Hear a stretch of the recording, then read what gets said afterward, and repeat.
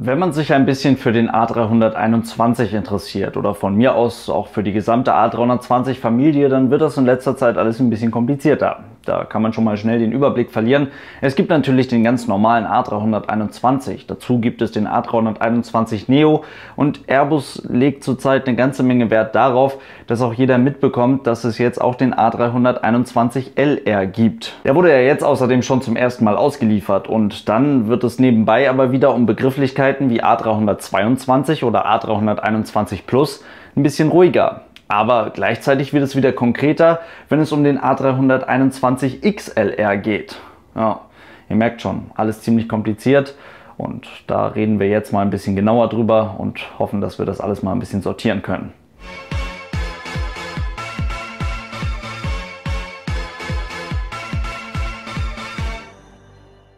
Und damit hallo und ganz herzlich willkommen zu einem neuen Video. Ich hoffe, es geht euch gut. Der A321 in seiner ganz normalen Version, in seiner klassischen Version kann man ja mittlerweile oder darf man mittlerweile sagen, der sammelte gut 1800 Bestellungen ein. Ist damit ein recht ordentlicher Erfolg für Airbus. Man hat mittlerweile knapp 1700 davon ausgeliefert.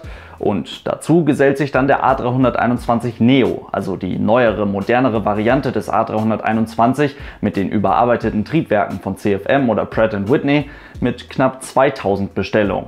Davon wurden aber erst gut 80 Stück ausgeliefert. Die Geschwindigkeit bei den Auslieferungen des neuen Flugzeugtypen wird man bei Airbus jedoch so schnell wie möglich noch ganz ordentlich anziehen, denn die meisten Kunden, die sich überhaupt für den A321 Neo entschieden haben, die brauchen das Flugzeug lieber jetzt als gleich und da sorgen die aktuellen Triebwerksprobleme und die dadurch entstandenen Verzögerungen beim europäischen Flugzeughersteller natürlich dafür, dass man die Wunschvorstellung gerade nicht so richtig erfüllen kann, aber das ist ein anderes Thema. Ich glaube aber, der A321 ist vor allem deswegen besonders interessant, weil er schon seit Jahren das beschreibt, was mit der A320 Familie so möglich ist. Er steht symbolisch für das Potenzial, das in dieser mittlerweile ja auch schon knapp 30 Jahre alten Standardrum-Flugzeugfamilie von Airbus steckt. Und die aktuelle Technik, die macht es jetzt möglich, dieses Potenzial Stück für Stück immer weiter auszuschöpfen und es dann in den nächsten Jahren in wirklich marktreifer Form den Airlines dann auch anbieten zu können. Der erste große Schritt war dabei natürlich die Weiterentwicklung vom ganz normalen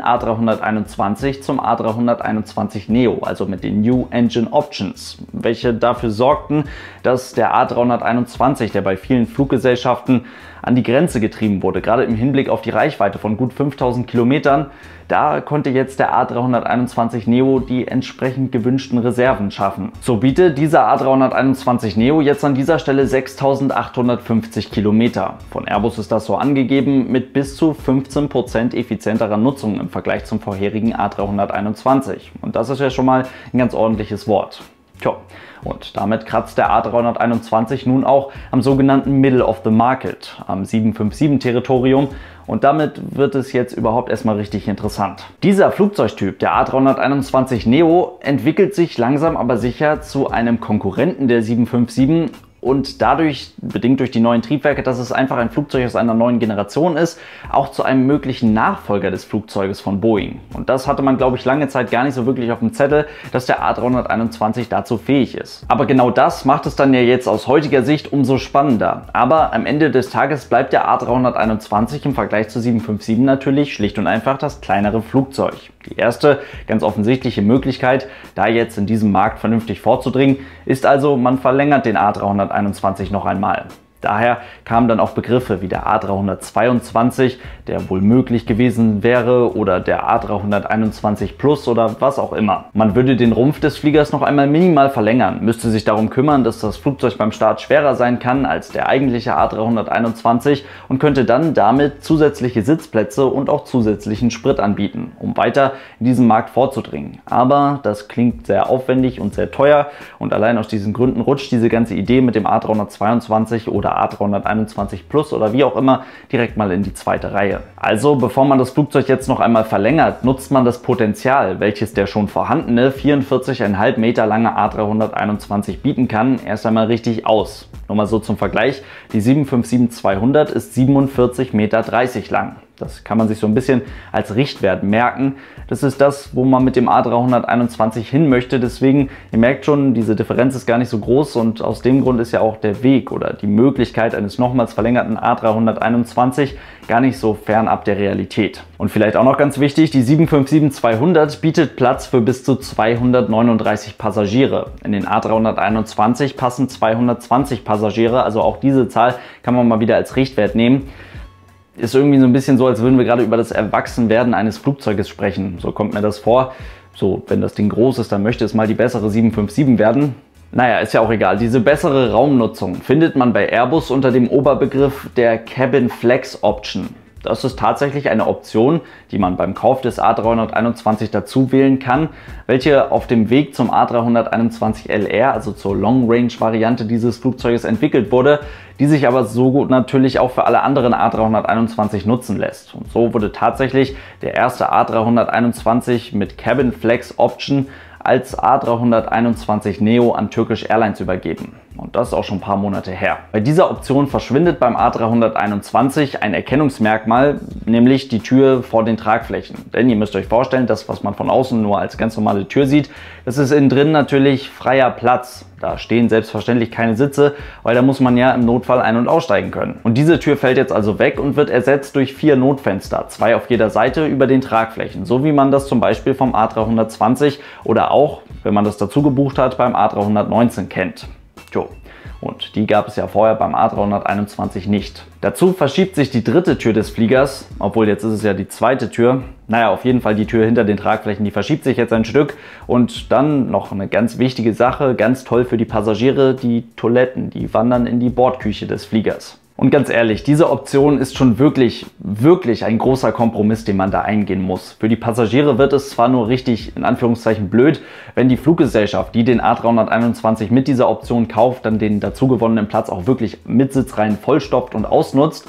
Aber das sorgt dann zum Beispiel dafür, dass neben dem Fakt, dass man für den Toilettengang immer durch die Küche stapfen muss, dann haben auch die letzten beiden Sitzreihen keine Fenster mehr. Und das ist echt ein bisschen schade. Das also nur mal so dazu gesagt, denkt da mal drüber nach, wenn ihr in den nächsten Jahren, wenn dann wirklich einige A321 mit dieser Option unterwegs sind, wenn ihr da ein Flugzeug oder einen Flug bucht, dass ihr dann, wenn ihr die Möglichkeit habt, Sitzplätze zu reservieren, dass ihr dann vielleicht nicht die in den letzten beiden Sitzreihen nehmt, weil die sind, glaube ich, echt ziemlich blöd. Aber gut, das sorgt natürlich dafür, dass man mehr nutzbaren Platz im Flieger hat und den kann man mit Sitzreihen vollstellen und das sorgt wiederum dafür, dass man jetzt 244 Sitzplätze in einen A321 rein reinpacken kann. Und ihr erinnert euch an die Zahl der 757-200, 239 Sitzplätze, das ist der Wert, wo wir eigentlich hin wollten. Den hat man also minimal sogar überschritten. Jetzt muss das Flugzeug, um wirklich eine ernstzunehmende Konkurrenz zur 757 werden zu können, nur noch weiter fliegen können. Und das schafft man, indem man in diesem Flieger mehr Sprit packt. Und damit sind wir jetzt endgültig beim A321 LR, bei der Long Range Version des A321 angekommen. Zu dem Reichweitenvorteil, den der A321 Neo durch seine neueren, moderneren Triebwerke generieren kann im Vergleich zum normalen A321, addiert sich jetzt nochmal der Reichweitenvorteil, der dadurch entsteht, dass man schlicht und einfach 3400 Liter ungefähr Kerosin mehr mitnimmt. Die maximale Treibstoffkapazität des Fliegers erhöht sich damit von knapp 29.500 Litern beim normalen A321 Neo auf knapp 32.900 Liter beim A321 Neo LR. Tja, das geht einher mit einer Steigerung des maximalen Abfluggewichtes. So kann der normale A321 auch als Neo 93,5 Tonnen beim Start wiegen. Der neue A321 Long Range kann bis zu 97 Tonnen schwer sein. So eine Steigerung muss natürlich immer die Struktur des Fliegers mitmachen, das müssen die Bauteile des Flugzeuges mitmachen, aber vor allem auch die Triebwerke. Aber laut Airbus-Aussage geht da noch ein bisschen was und damit ist auch diese, diese Reichweite von 7400 Kilometern, maximaler Reichweite bei einem A321 LR, es ist wohl noch nicht die Obergrenze. Das ist auf jeden Fall ausreichend, um, wenn man denn unbedingt möchte, von Europa aus an die Ostküste der USA zu fliegen. Mehr wäre aber schön denn es würde entsprechende Reserven schaffen und mehr wäre dann auch interessant für zum Beispiel Lufthansa. Fluggesellschaften halten sich natürlich immer so ein bisschen zurück, wenn es um Spekulationen zu möglichen neuen Flugzeugtypen geht. Das ist natürlich auch total nachvollziehbar, aber es ist ein offenes Geheimnis, dass ein A321 in egal welcher Version der wirklich dann ein 757 Nachfolger sein kann und gleichzeitig um die 25% effizienter zu betreiben ist, dass der für viele Fluggesellschaften den Eintritt in einen noch recht neuen Markt bedeuten kann, und zwar in den Markt der günstigen Langstreckenflüge mit einem Standardrumpflugzeug. Und das ist eben auch für eine Lufthansa interessant. Es muss für eine Lufthansa interessant sein. Bereits im Sommer sagte der Chef der Lufthansa, Carsten Spohr, in einem Interview, dass man mehr Reichweite von einem A321 LR verlange und sich aber natürlich alles, was es so auf dem Markt an verfügbaren Flugzeugen gibt, auch anguckt. Und damit ist ja auch ein A321 XLR mit inbegriffen, also eine nochmals erweiterte Version. Was dort hinter den Kulissen zwischen dem Flugzeugbauer Airbus und einer Lufthansa, aber natürlich auch zwischen dem Flugzeugbauer und anderen Fluggesellschaften an Gesprächen geführt wird, das können wir jetzt an dieser Stelle nur vermuten. Das wissen wir nicht genau, aber es ist ja recht offensichtlich, dass die Möglichkeit oder die Berechtigung für einen A321 mit nochmals verlängerter Reichweite, dass die durchaus besteht. Jetzt aber nicht ganz so schnell. Wir müssen erst noch dazu sagen, dass man mittlerweile ja den ersten A321 in der Long Range Version ausgeliefert hat. Erstkunde sollte ja eigentlich Primera Air werden, aber diese Fluggesellschaft musste sich ja vom Markt zurückziehen, beziehungsweise sie ist nicht mehr da. Und damit ist der neue Erstkunde jetzt Arkia aus Israel. Die haben den ersten A321 LR übernommen mit 220 Sitzplätzen an Bord. Und das ist noch ganz wichtig dazu zu sagen, das habe ich eben vergessen. Wenn man dieses Flugzeug nicht in der von Airbus vorgeschlagenen Konfiguration mit 206 Sitzplätzen bestellt, dann verringert sich die Reichweite. Das bedeutet, dieser A321 LR, der jetzt bei Arkia in Israel ist, der kann nur knapp 6200 Kilometer weit fliegen und schafft eben nicht die von Airbus angegebenen 7400 Kilometer. Das vielleicht nochmal so ein bisschen im Hinterkopf behalten, wenn man die Frage beantworten möchte, warum ein A321 LR in dieser Form so für die Lufthansa vielleicht nicht so interessant ist.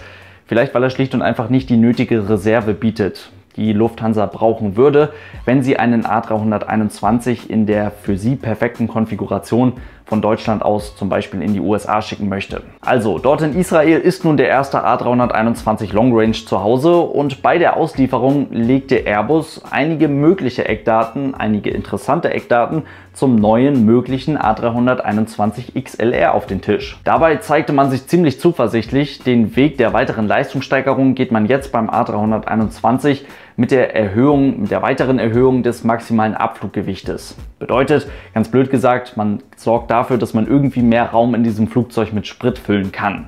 Inwiefern das den möglichen Gepäckraum des A321 einschränkt, schwer zu sagen. Ein schwererer A321 ist aber wohl nicht das Problem. Man müsste da wohl nur einige Kleinigkeiten am Fahrwerk verändern, ein bisschen was an der Struktur verändern. Das ist aber wohl nicht der Rede wert. Das kriegt man alles wohl ohne große Kosten und ohne viel Zeit zu verbrauchen hin.